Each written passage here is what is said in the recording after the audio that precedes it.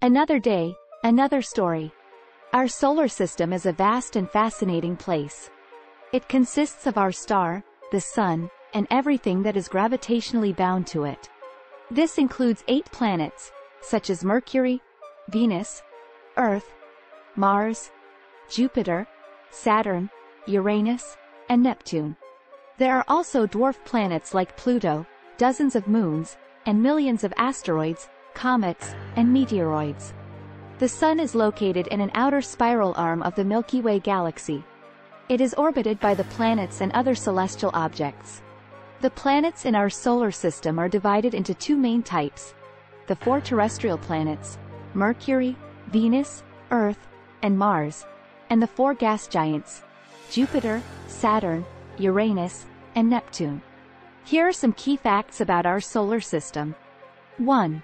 Our solar system is about 4.6 billion years old. 2. The Sun contains about 99.86% of the solar system's known mass. 3. The giant planets, Jupiter and Saturn, account for more than 90% of the remaining mass. 4. Our solar system is located in an outer spiral arm of the Milky Way galaxy. 5. The planets in our solar system have a wide variety of atmospheres. 6. There are more than 200 moons orbiting the planets in our solar system.